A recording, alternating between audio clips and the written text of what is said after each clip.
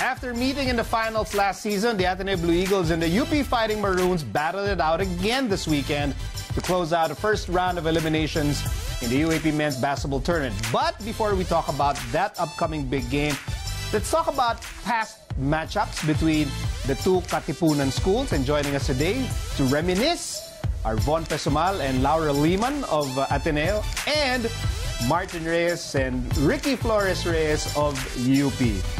Hello, guys. Hey. This is not a Valentine's Day episode, by the way. We're talking about the Battle of Katipunan, and I know you're excited to talk about a big game, but let's look back first. So, uh, I'll, start, I'll start with the UP couple, okay? So, Bakit? ilang years na since you, the two of you were in the UAAP? Ten. Ten it's Been a good 10? years. One decade already. Wow. 10 years. Oh my gosh. So, can you tell our viewers what Ateneo versus UP was like during your time?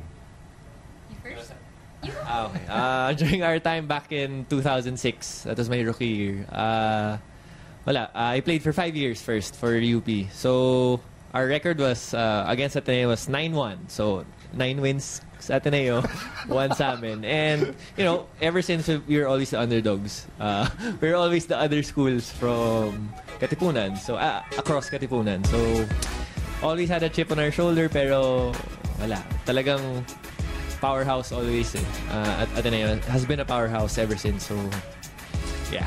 So, Martin was playing and Riki was courtside. Not yet. Hindi mo Not yet. When he started, nun? hindi pa. I was just a spectator. You were s- so Just when he started watching. his career, hindi ka pa courtside noon. Hindi pa. You waited for the last what? The last two years. The last, yeah, the last, last- two years. So as a, as a uh, spectator and eventual courtside, yeah. what was the Battle of Katipunan like for you? As a spectator, sarap. Sarap to watch Battle of Katipunan games because you could get tickets anywhere. People were selling you tickets, trying to get rid of No, them. they were giving you tickets. They were, yeah, yeah, they giving were, it away. they were yeah. giving it away. You could sit anywhere. Free seating siya! Free seating siya! Um, and, uh, you know, uh, we had friends who would watch the games religiously, like at the Casey, if at the Casey's watching. Um, but yeah, they would have banners. And litaw na litaw talaga siya because they were the only ones in the stands.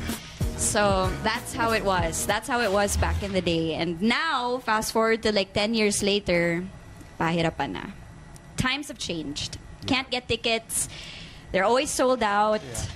Right?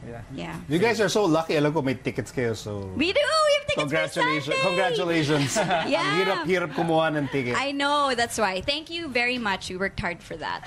worked hard. Okay, let's go to the Ateneo couple. Uh, Von Pessumal. When did you last play for Ateneo? 2016. So that's like three years ago, I think. Relatively recently. Ba't parang ang tagal na? Parang, Yeah, it's been a while. It's been a parang ang while. tagal na since you Three last years na ako sa played. PBA. Okay, well, maybe that's why. You've been busy winning Yeah. championships. okay, so what was the Battle of Katipunan like during your your time in the UAP? Um, well, I don't think it was much different than what Riki said uh, earlier. Um, unfortunately, it wasn't UP's prime era uh, during the time I was courtside and he was when he was playing. So, um, yeah, very different from how it was today.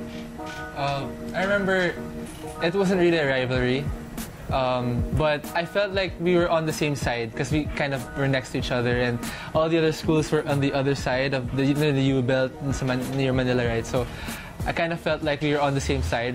Like most of the time, especially when it's like, if UP's playing against another team, I'd be like, "Hey, I want UP to win," or you know, like, so Yeah, I think we were cheering for Yeah, UP. yeah, yeah, we Everyone wanted- was cheering Wait, for did UP. you have a teammate that was playing for UP? Yeah, I, I had several teammates. Uh, Paulo Romero. Yeah, yeah, I think that's why, I have, and we're, we're next to each other, so we see each other in Katipunan sometimes.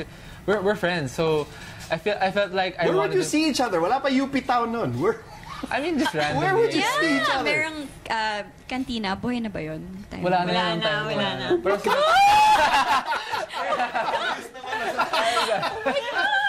No, okay. Uh, Starbucks. yeah, yeah, yeah. Okay, Uh, Pancake House. Okay, those guys are not sponsors of the show. Don't Sorry, mention sorry, those brands.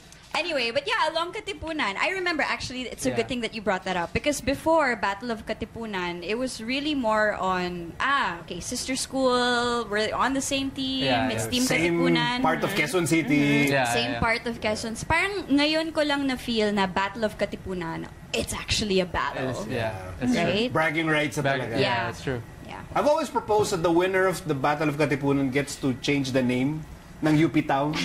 So if manalo it, it becomes Ateneo Town Center for like a month or something. 80s. I don't know. But but Yeah. you feel that now na it's it's a real battle. Like it's a rivalry now na you feel a certain tension even with your Atenean friends. Yeah. Yeah. Kasi, eh, maybe because UP's been on the bottom part of the of the spectrum for the last what uh, a half dec ah decade and a half na ata. So, syempre, uh, it's very different for us to feel na wow.